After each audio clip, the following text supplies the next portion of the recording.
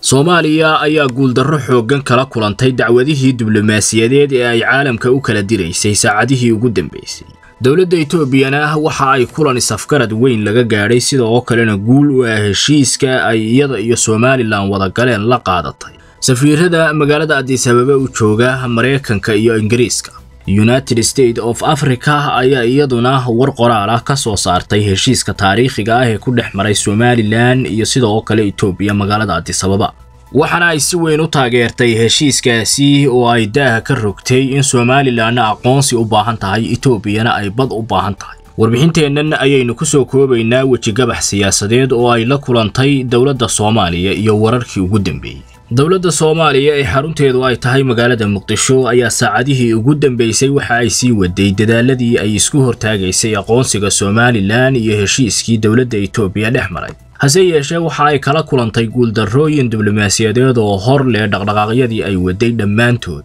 Iyadoo aanay uga soo bixin haba yaraatee wax yididiilo geliya amase rajo ay ku sii wadi karaan dacwadaha kan u muujiya dowladda maraykanka oo hore uga hadashay heshiiska somalilan iyo waddanka etoobiya ayaa mar kale ku celisay in etoobiyana bad u baahan tahay somalilanna ay aqoonsi u baahan tahay. Taasina ay tahay laba waddan oo baahiyahooda isweydaarsaday hase yeeshee aanay wax sidaasi u sii weyni jirin. Soomaaliya iyo etoobiyana ay si hoose ku dhammaystaan muranka iyo khilaafka wakhtigan xaadirka ah soo kala dhex galay dowladda maraykanka qaybteeda afrika qaabilsan ayaa waxa ay intaa ku sii dartay wadaagitaanka baddana inay tahay wax iska caadiya maadaama oo labada dhinacba ay u baahan yihiin. Inay adeegsadaan marinbiyoodka badda cas sida oo kalena maraykanku dan weyn ayuu ka dhex arkay heshiiskan marka dhinac kale layska taago. Maadaama oo khalkhal nabadgelyo uu ka jiray biyobadeedka kan muhiimka ana wakhtigan xaadirka ah ciidamada etoobiyaanka ahi inay qayb ka qaataan ilaalada ayuu doonaya dhinaca kalena kulan albaabadu u xidhan yihiin ayay dowladda etoobiya la yeelatay safiirada ay ku leeyihiin maraykanka iyo ingiriisku magaalada adis ababa ee xarunta waddankaasi.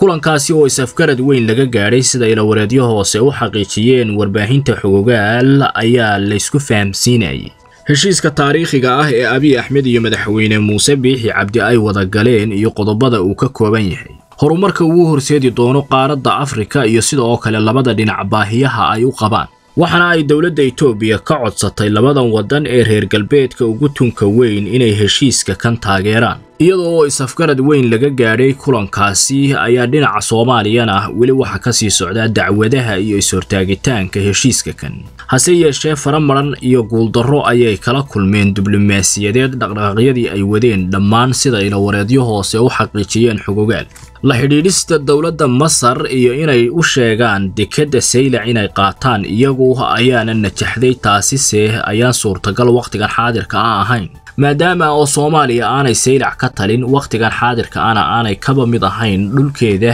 iyo meelaha ay heshiisyada kula geli karto dowladda. Ujeedka ay iyadu ka leedahay inay masar xidhiidh iyo cilaaqaad la yeelato iyada oo markii horeba aanu buurnayn labada waddan iskaashiga u dhexeeya ayaa ah etoobiya iyo masar oo xurgufi u dhexayso in ay dhinacaasi ka soo wareegto. Iskuna hortaagto heshiiska aqoonsi iyo iskaashi ee ay somalilan iyo etoobiya wada galeen oo wakhtigan xaadirka ah aan dheg la qabto lahayn. Maadaama oo waddamada reer galbeedkuna ay si weyn u soo dhoweeyeen heshiiskaasi aanayna u arkin wax shiidaad ahi inay ku jiraan halkaasi. Etoobiya oo bad iyo u baahan adeegsiga marinbiyoodka badda cas iyo sida oo kale somalilan oo aqoonsi u baahan waxaa halkaasi ka soo dhex baxaya laba baahiyood oo labada shacab ay u baahan yihiin wakhtigan xaadirka ah inay isdhaafsadeen labada dowladood. Caalamkuna aanu wax weyn u arkin wakhtigan xaadirka ah heshiiskan sida ay soomaaliya u buunbuuninayso iyo dacwadaha ay ka dirtay ee diblomaasiyadeedna aanay ka helin falcelintii ay ka doonaysay